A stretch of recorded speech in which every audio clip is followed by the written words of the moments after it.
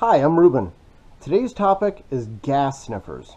Now, I should probably say combustible gas detectors, but I'm not going to. I call them gas sniffers. I've got three of them here that I'm going to demonstrate. First one is the TIF 8800X. I've had this one for about a month now. I've had a chance to play around with it for a little bit. Uh, next one is going to be the TIF 8900. I've had this one for about a year. This has served me well for quite a while. And then finally I've got a brand new Ridgid CD100. And I'm going to test each one of these. I took a wrench and I loosened up the gas piping going to my water heater and I I did that to create a little gas leak and I'm going to use one of these on each one of that. Um, I'm going to use one of these on that leak one at a time. The TIF 8900 has five sensitivity settings. You've got two up here that aren't very sensitive at all. I'm not sure why you would use those. And then you've got the middle setting, which seems to be just right for everything. And then you've got two more that just scream. Um, where, where, wherever I am, even if I'm outside and I set it to the more sensitive settings, it just, it basically screams. So I don't know what you would ever use those for, but uh, there they are. It's got, it's got a few of them. So I'm to come on over to this known gas leak. I made this leak and I'm to find it using my gas sniffer.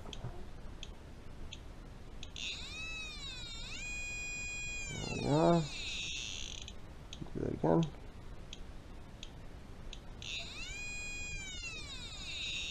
And one more time. One more just for fun. There.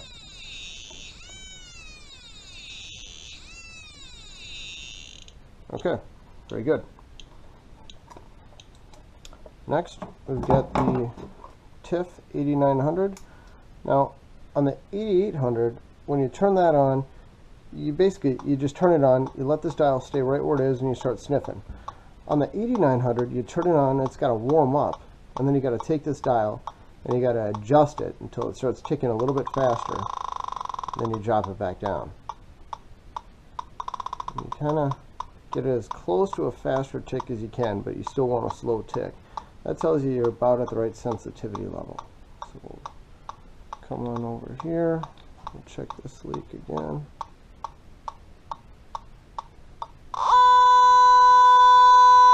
It's loud, isn't it?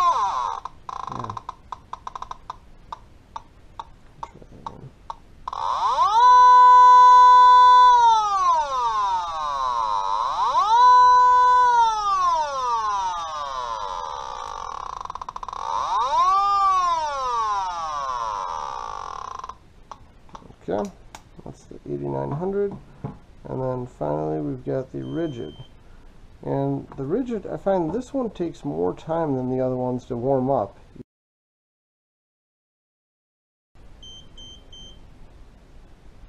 Okay. It warmed up, and now we will go find our gas leak here.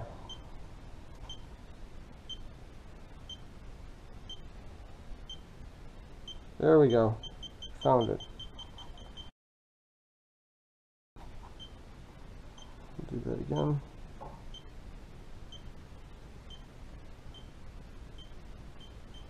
There. And then I'm just going to do a little comparison.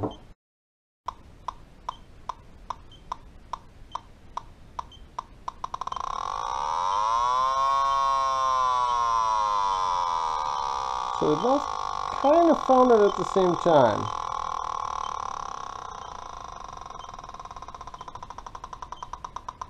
If you read the screen. The TIF made a lot of noise. The Ridgid just kind of lit up a little bit.